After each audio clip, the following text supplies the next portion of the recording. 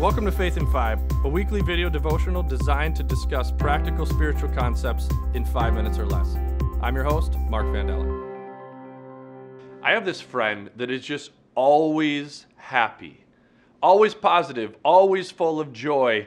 And it's one, I, we all have this friend. Is, it, is that fair to say? We all have this friend that it's 5 a.m. and they've got a smile on their face and they're like, they can't wait to get started. Life is so good and so awesome. And I am kind of skeptical.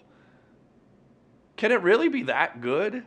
Can your life be that good or can you be that happy? What are you on? Right? Coffee doesn't quite get me to that level of happy that this one friend of mine has. And it's fascinating to me as I watch my friend and I watch the things that they share about their life on, on social, uh, and then also sometimes it seems like, oh, that's just a persona. But I know this person well enough when I sit with them, even in the darkest of times in their life, they are able to see happiness, to find joy in really difficult spots. And as I've wrestled with this and I've tried to understand it for my own life and even tried to adopt it for my own life, the one thing that I've noticed, the one thing that I've learned, especially when I try to apply some of the principles of design thinking to my life and to my faith, is that there it's a shift in mentality. It's not as simple as just try harder. Just choose. It's that simple. It's there's something below it. And it's a mindset shift from scarcity to abundance design thinking always assumes that there is there's an upside that we could figure this out and it's abundance thinking versus scarcity. And i know in my own life this scarcity mentality has stolen so much joy from me because even when things are good i'm worried that at some point it won't be. Or uh, you've heard maybe the phrase of i'm waiting for the other shoe to drop. So even when things are awesome we're still looking around for like what's going to go wrong abundance mentality shifts that that this is everything's great and it can only get better. Back to a couple weeks ago we talked about prototyping and so this is just one iteration that will grow and get better. And i know in five years it's not going to look exactly the same but i'm going to grow i'm going to get better and no matter what happens in my life i'll continue to take a better version of myself.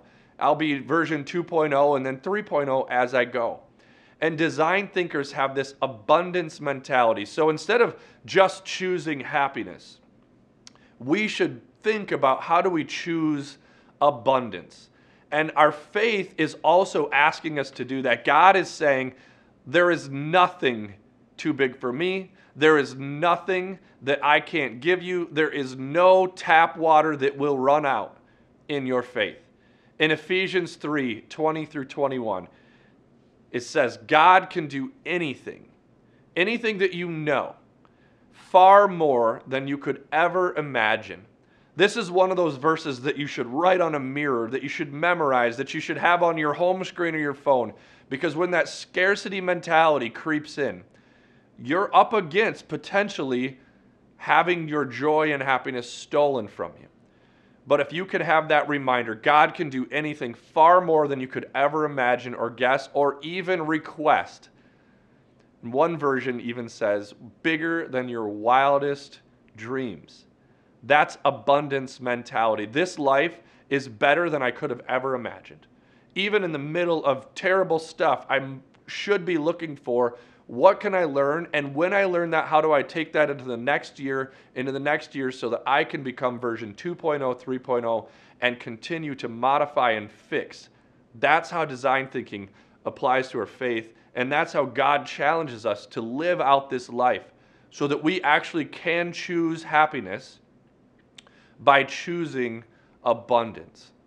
This week, as you go into the week and you live out your life. You go into this crazy world where I know there's bad circumstances in your life, and some of us are not where we want to be. And some of us have that friend that's too happy and just gets under our skin because they can't possibly be that happy. Look into your life and see where you might be able to see abundance rather than scarcity. And you might be able to be that friend in somebody else's life that, yes, maybe a little annoying, but you give me hope that I can see the beauty in my circumstances and the abundance that God can and will provide.